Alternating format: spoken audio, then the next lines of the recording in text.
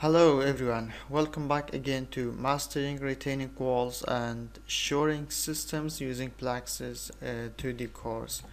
So uh, this is tutorial number 6 and in previous uh, tutorial we uh, simulated the gravity retaining wall using Plaxis 2D uh,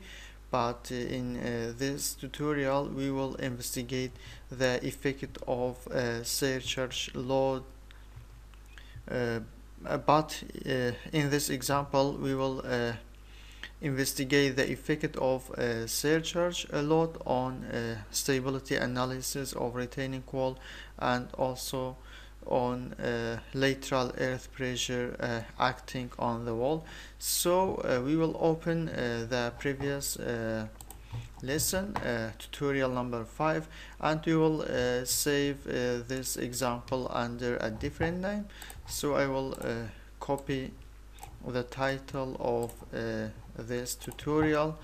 and uh, this is the Plaxis file for a previous example tutorial number 5 we will click on file and save project as. So I will save this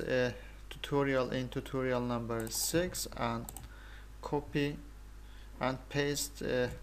the title of tutorial number 6 here and save uh, the project